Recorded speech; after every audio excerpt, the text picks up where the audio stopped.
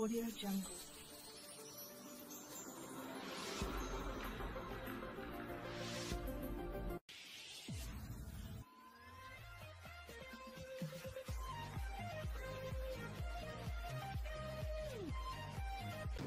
Xin chào bà con. Hôm nay mình đang có mặt tại vườn của bà con nông dân.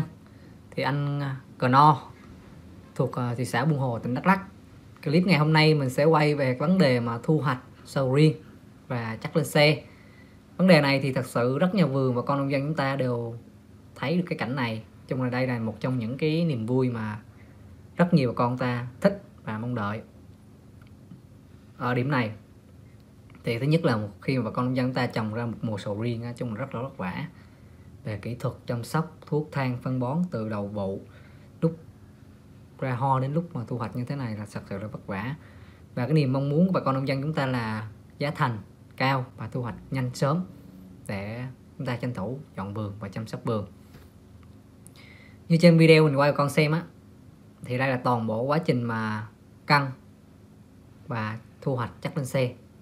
Thì quá trình này thật sự là rất nhiều bà con nông dân chúng ta ở trên mọi vùng, ở khu vực Tây Nguyên và những khu vực khác muốn xem hình ảnh thực tế và trực tiếp.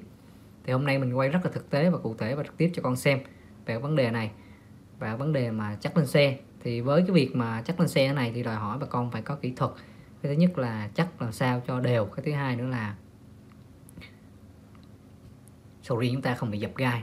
Đó là vấn đề quan trọng nhất.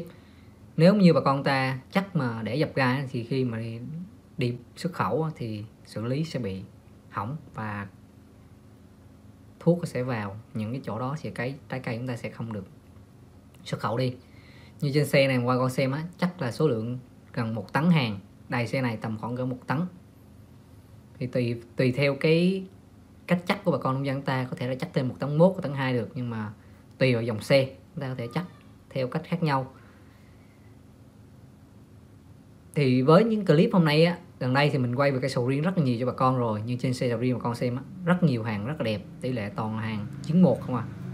Trái rất là đều, đẹp, da xanh gây nhím hết để làm ra một cái sầu riêng và đạt hiệu quả như thế này thì đòi hỏi bà con chúng ta phải có kỹ thuật rất là cao.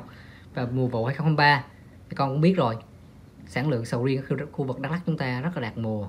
Nhưng qua đó thì nấm bệnh gây hại trên cây sầu riêng chúng ta cũng rất là nhiều. Nên qua đó đòi hỏi bà con, một mùa thì à, bà con phải có những cái kỹ thuật, kinh nghiệm khác nhau để chăm sóc cho mùa sầu riêng chúng ta đạt cao hơn so với mọi năm.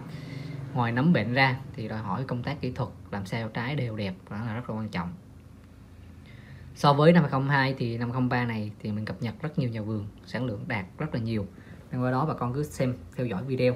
Mình quay toàn bộ quá trình à, thu hoạch chắc lên xe của chiếc xe bán tải này và chở sầu riêng. Để chia sẻ cho những bà con nông dân chúng ta ở vùng xa và tất cả khu vực khác, con thể xem được về cái quá trình mà thu hoạch như thế này và cách chắc như thế nào cho hiệu quả và năng suất. Thì mình quay rất là chi tiết cụ thể cho con về cái quá trình này. Một lần nữa bà con cứ theo dõi toàn bộ video đi mình nói rất là chi tiết và cụ thể xin cảm ơn bà con ạ à.